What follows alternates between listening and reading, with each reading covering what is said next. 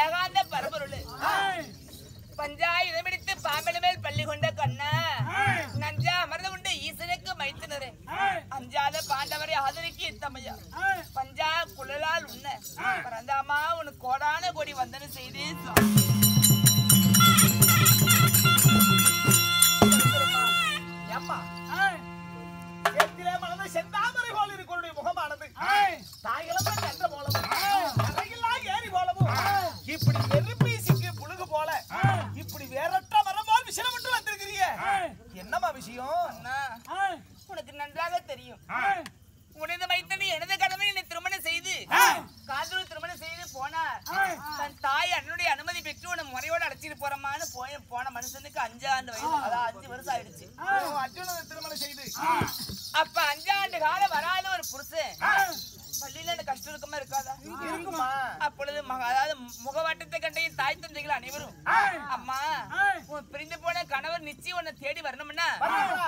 நாற்பத்தி நாலு சிவபூசை கௌரி மாதா பூஜை செய்து முடி.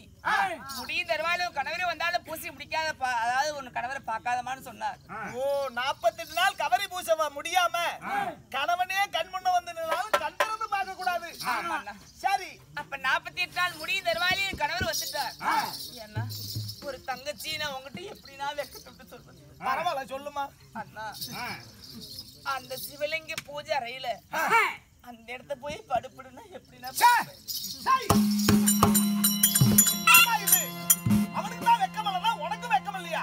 நீ தான் பரவாயில்ல சொல்லு சொல்லு நான் சொல்லுன்னு சொன்னா நீ சொல்றதா? அண்ணா, சரி வேண்டாங்க சற்று போருங்க பூசி முடியும் தருவாய். கொஞ்ச நேரம் தான் இருக்கு முடிச்சிட்டு வரேன்னு சொன்ன அந்த மனுஷன் கேட்கல அந்த இடத்த கத்தி சேர வந்தார். வேண்டாம் சாமினி பிடித்து தள்ளனேன். நிலவு காலம் மேல பட்டு மண்டை அடி பாவி. பத்தெட்டு நாள் பாரதபுரம் யுத்தத்தை கூட மண்ணாது மன்னருக்கு மகடமுடி வேந்தோட சண்டை செஞ்சேன். இப்ப கூட ஒரு ரோமக்கால் கூட சிந்தல. உன்னை தேடி வந்த பாவத்துக்கு மண்டை உடைச்சிட்டேன். விண்ணப்படாத மேனி விண்ணப்பட்டு விட்டது. முப்பத்தி ரெண்டு அழகால ஓரளவு குறைச்சிட்டியே. இனிமேல் உருவத்தோட முடிக்க மாட்டேன்னு கோவிச்சிட்டு போயிட்டார். அப்புறம்? இந்த செய்தியெல்லாம் போய் ஆ, வருடம் ஒருமுறை தன் கணவனுடைய ஆயுள் பலன் இழைக்க வேண்டும் என்று எல்லா பெண்களும் செய்தி ஒண்ணு துதிப்பாடுவார் அல்லவா? ஆமா. அந்த குளக்கரைக்கு போனேன்.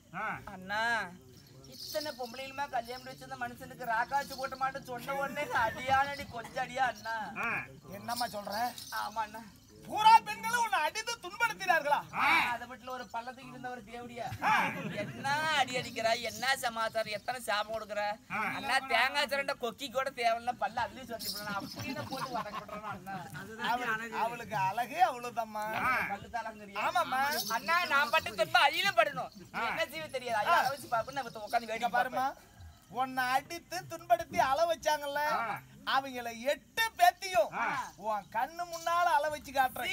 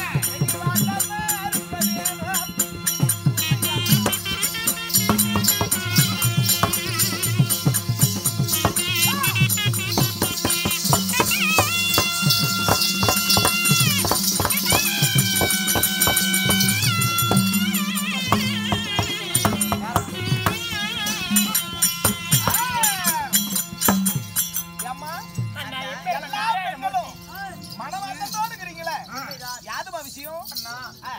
நான் பட்ட கதைய சொல்லட்டா பட போற கதைய சொல்லட்டா நான் என்னன்னா சொல்லுவேன் கதை அப்புறம் இருக்கட்டும். நான் வந்து விஷயத்தை சொல்லலையே. ஏம்மா? நீ எல்லாம் மாங்கலி நிலைக்க வேண்டும்னு தானே? இந்த மாங்க- ஆ?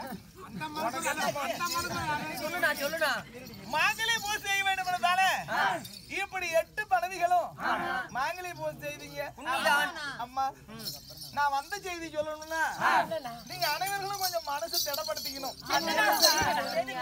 கணவனாகி அர்ஜுனை செத்து போயிட்டான்.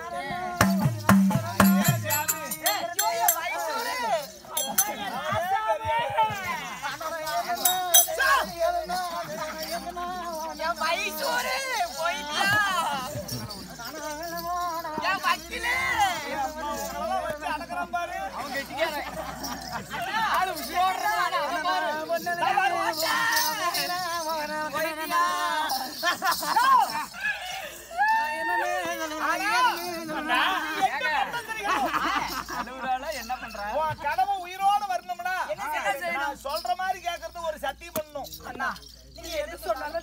உன் கனவு உயிரோட வரணும்னா எனக்கு ஒரு சத்தியம் பண்ணணும் நான் எதை சொன்னாலும் கேப்பை அப்படின்னு நீ எது சொன்னாலும் நாங்க கேட்கறோம். போடு, சத்தியம்.